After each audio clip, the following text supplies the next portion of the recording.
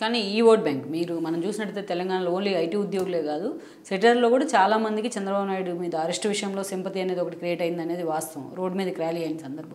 ఇవన్నీ నిజంగానే గంపగుత్తంగా కాంగ్రెస్ పడే అవకాశం ఉందంటారా? అది మౌత్ టాక్ కానీ ఇప్పుడున్న సిచ్యువేషన్లో కానీ ఇప్పుడు ప్రస్తుతానికైతే కాంగ్రెస్ పార్టీకి ఒక ఆయాచిత వరంగా ఈ అంశాలు ప- పరి ఈ పరిణామాలు ఆయా- కలిసి వచ్చినట్టుగా కనిపిస్తూ ఉన్నాయి.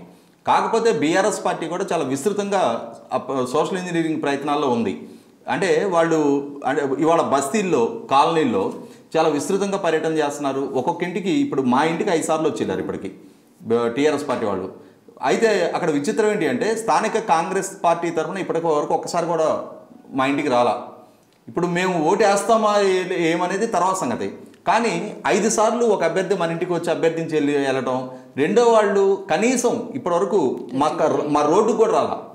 ఈ పరిస్థితిని చూసినాక కాంగ్రెస్ పార్టీ వాళ్ళు ఆ ప్రచారంలో వెనకబడ్డారనేది అర్థమవుతుంది. హైదరాబాద్ నగర పరిధిలో.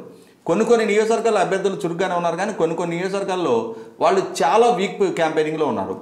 ఇటు వీటిని రిజాల్వ్ చేసుకొని పోల్ మేనేజ్మెంట్ పరంగా వై బీఆర్ఎస్ పార్టీ చాలా అనుభవం గడించింది. ఒకరోజు పోల్ మేనేజ్మెంట్లో కాంగ్రెస్ పార్టీ ఉండే యుక్తులు శక్తులు వాళ్ళ వనరులు మొత్తాన్ని కూడా దాటి ఇవాళ అంటే కాంగ్రెస్ పార్టీ పది సంవత్సరాల పాటు ప్రతిపక్షంలో ఉండటం.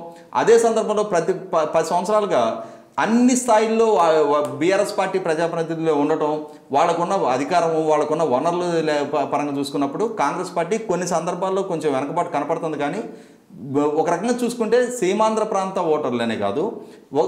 సీమాంధ్ర ప్రాంతానికి సంబంధించిన ఓటర్లు ఒక్కళ్ళే కాకపోయినా కూడా ఎందుకో తెలియదు నేను ఈ సగటు తెలంగాణ సమాజంలో చాలామందితో మాట్లాడినా కూడా వాళ్ళు చెప్తున్నది ఏంటంటే రెండుసార్లు తెలంగాణ తెచ్చడానికి ఇచ్చాం ఒకసారి ఇచ్చిన వాళ్ళకి ఇవ్వాలి అనుకుంటున్నాం అనే మాట స్పష్టం చేస్తూ ఉన్నారు.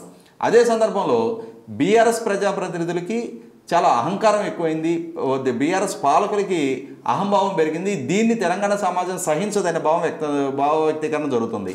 అంతిమంగా రేపు రోజున ఓటు దగ్గరికి వచ్చేటప్పటికి ఆ బూత్లోకి వెళ్ళి ఆ ఓటు వేసే వరకు ఆ ఎమోషన్ క్యారీ అవుతుందా లేదనేది వేచి చూడాలి ఈ వీడియో మీకు నచ్చినట్లయితే please share like and subscribe R twenty four Telugu.